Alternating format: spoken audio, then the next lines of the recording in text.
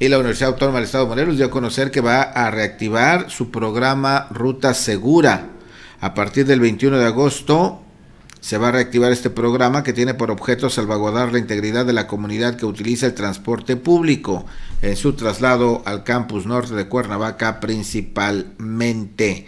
Eh, lunes a las 21 horas las rutas 1 y 13 dispondrán de dos unidades para el servicio vespertino de forma directa hacia dos puntos de la ciudad. Así es que a las 9 de la noche saldrá la última, es la ruta 1 y 13, eh, que va a, que ya sabe usted sus recorridos que tiene, se van a, van a estar en la parada que se ubica a un costado del edificio 1 en viaje directo sin paradas a dos destinos, la ruta 13 hasta Tizoc y la ruta 1 hasta la colonia Chipitlán. Qué bueno, qué bueno por los jóvenes universitarios.